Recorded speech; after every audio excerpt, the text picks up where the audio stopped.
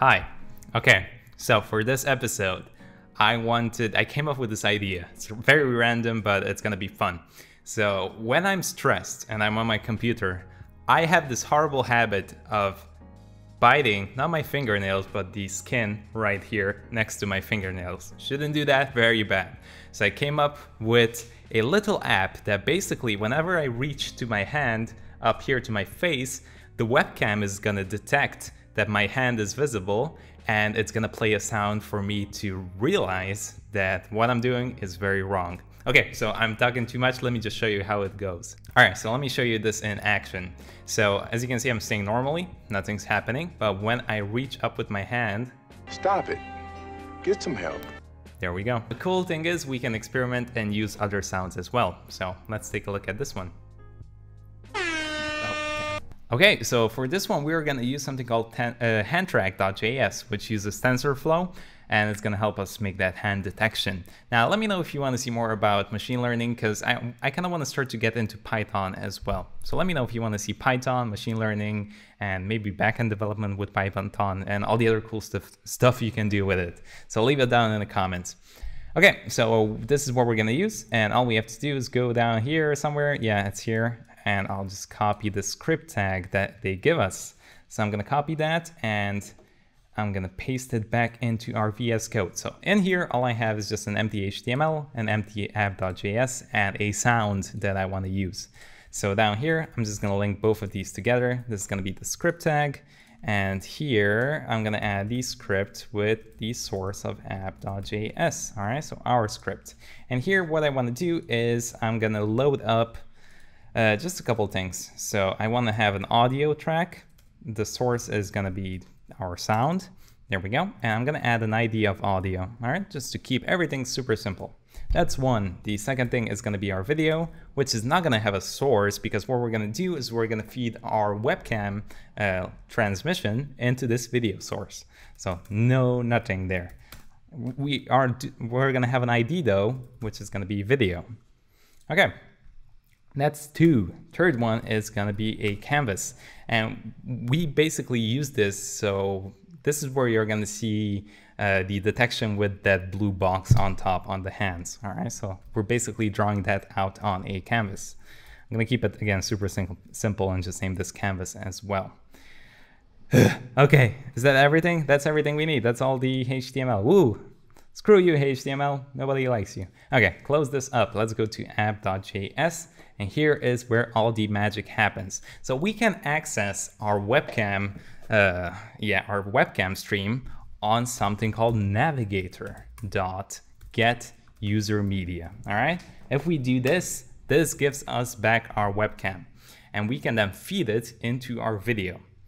So now the thing is, uh, depending on which browser you're on, uh, you might have a WebKit, Get User Media, a Moz, which is Mozilla Firefox. All right. So what I like to do is at the beginning, I'm just gonna get the navigator.getUserMedia and set this equal to depending which browser I'm on. So I'm just gonna copy paste this and you can check it out. It's basically gonna be equal to navigator get user media.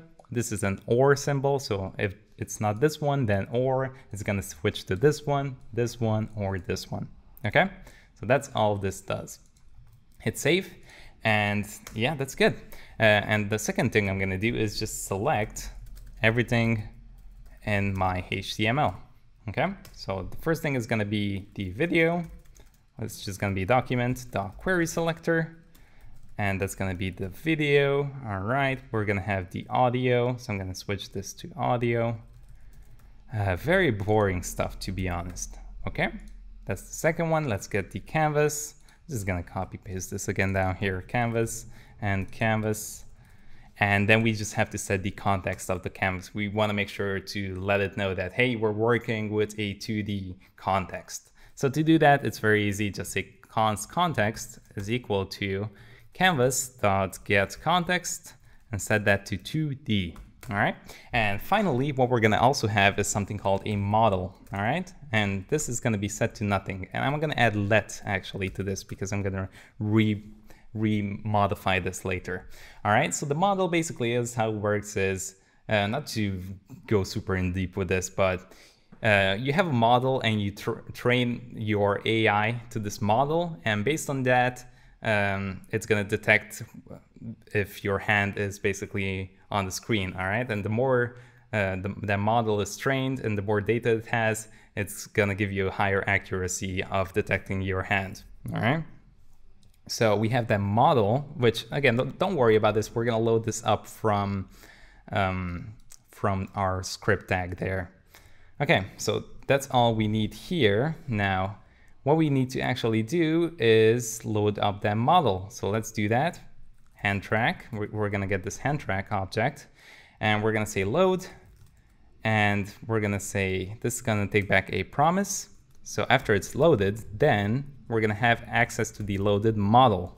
And this is gonna be just an arrow function. And then I'm gonna set that model equal to the loaded model, so L model, okay? So I modified this one and everything should be fine. Now this might take some time, again, to load up that information. So what we're gonna use is, um, HandTrack has a cool fu little function that detects when everything is loaded and that's when it can start detecting and loading up our webcam. So we can call handtrack dot start video like so and this is going to take in an object so we can give this video from our HTML okay? And once this is loaded we can call dot then on top. And this is going to give us back a status parameter. And this basically it says hey it's loaded and everything is good. Or it says no it's not and you should quit coding okay? And here all I want to check is if the status so if this is true if everything is all right we can call that navigator get user media all right we can access the webcam here and what I want to do here is just get this webcam and just stream it into the video. So I got tired. Okay, this takes three parameters. The first one is going to be video. All right, so from up here, and uh, for now, I'm just going to add a simple curly braces here, so an empty object. Actually, this, the whole thing is in the object here, so I'm going to do that. I'm going to pass in video, all right, and you can pass in some options here, like true. I'm gonna leave it empty. That's fine. The second one is gonna be something called a stream. All right, this is gonna be the callback function. And another one, I'm gonna add a comma here after that curly brace. I also have access to an error, just in case something goes wrong. I'm gonna console log uh, error, okay? So that's it. That's everything I need. Let me get rid of this, like so. Okay, and here what I want to do is I have access to the stream. So what I want to do is just basically access the video source and pass in this stream. And all the stream is, is basically the information from the webcam. So I'm passing that into the video source. Okay, so here all I want to do is just say video. All right, so our actual HTML video uh, dot source object is going to be equal to that stream. And that's it. That should start everything up and it should work. So let's pray to the gods. Uh, there we go. That's me. Hello. Hello, everybody. Yeah, awesome. Yeah, so this is coming from my webcam uh, on my laptop. So hooray. Okay, let's go back here. So we have this setup which is very nice. Now we can use that model that we have and we can check our webcam to see if our hand is, is in there. So what I can do is let's go down here and I can say function run detection like so. All right, just a simple function. I can get the model and I can add a detect on top of it. So it has a method of detect and I can just pass in the video. All right, and dot then we will have access to something called predictions. And this is going to give us back an array with basically the position of your hands and everything else. All right, so this is the prediction and how many hands are visible on the screen and things of that sort. I'm going to show you, I'm going to console log this, so don't worry too much. Okay, so model.detect video here.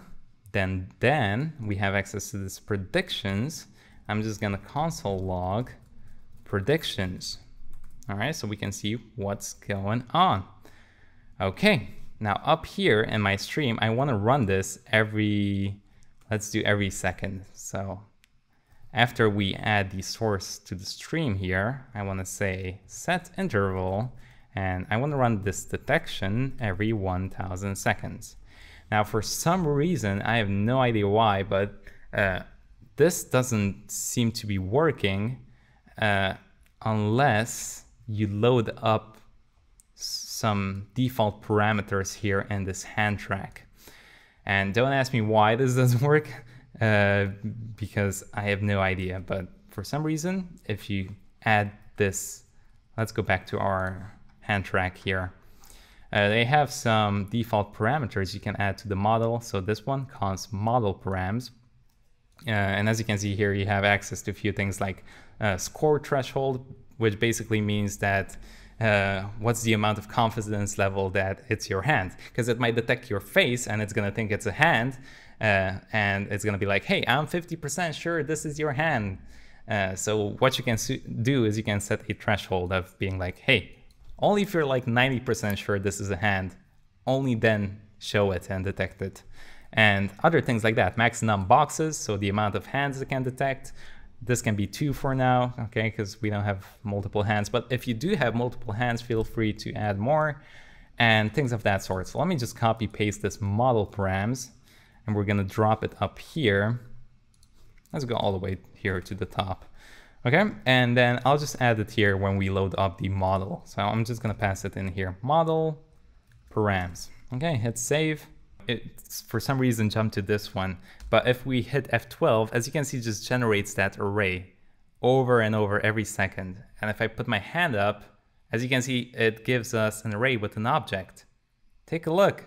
Oh my goodness, take my hand away. Look, it's empty. If we open this up, as you can see, there's a box there and it detects uh, the hand. There's some weird parameters here that I have no idea what it is. Probably the location of this. So, but yeah, it works. So that's good. Now we can paint that image here to the left so we can see. Uh, so let's go back here and after we set the interval here, which is fine, I'm gonna show you a better way we can do this now with set interval. But for now, that's gonna do the trick. Uh, what we can do here in the run detection, we can go back here and what we can do is console log this out. Sure, we can leave it like that. We can get the model and we can render the predictions out. So we can call render predictions. And we can pass in the predictions, all right? So this weird object array that we have access to, and then the canvas, and then the context, and then finally the video, okay? That's all we need, and it should work. So let's go back and see. Let this load up, and there we go, that's me. And as you can see, the frame rate is absolutely horrible. So I'm gonna stop this, but if I put my hand up, it's gonna detect it. There we go, hand, Yay! Everything works fine. Oh, my computer is absolutely horrible. Okay, I'm gonna disable this one because, yeah, my computer is just very, very bad. So let's go back here. I'm gonna go and just get rid of this. I'm gonna get rid of this last line of code. But if you wanna keep that there, go ahead. Be my guest. Good. All right, so remove that, that's fine. And now what I want to do is I can just check if the predictions length, all right, is smaller, uh, is bigger than zero, all right, because as you can see, when our hands are not there, it's basically zero. Uh, and when it detects something, it's just gonna feed it in with more. I can do audio.play, all right? We have our sound there, and that's it. That's actually all we have to do. Hit save, Let's take a look again. Okay, ready? Stop it. Get some help. All right, let me scratch my nose. Stop it. Get some help. All right, there we go. Everything works, so you can... It's not perfect. Stop it. But get some help. It gets the trick done. So yeah, that's it.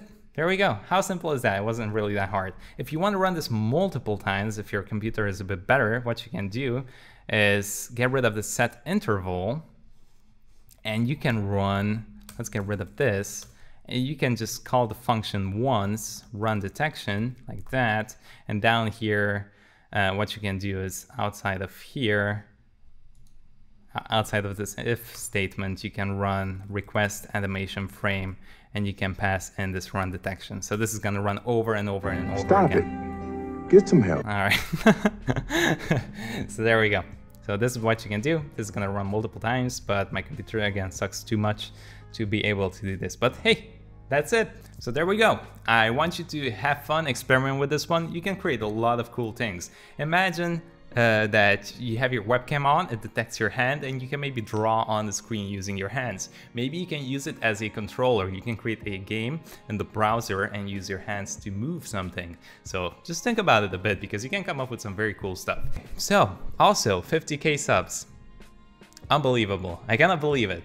I had my channel since June and I posted like very unfrequently. I used to post like one video a month, but yeah, till like November or something like that, and it didn't get a lot of traction. So I got up to like 100 subs, but literally since December till now, we we went from like 100 subs to 50k, and it's unbelievable. So thank you again so very much for giving me the opportunity to do this full time, and yeah, hope I can provide you with more awesome content like this. So until next time, I will see you inside the machine learning capsule. I don't know what that is. I'm, I'm going.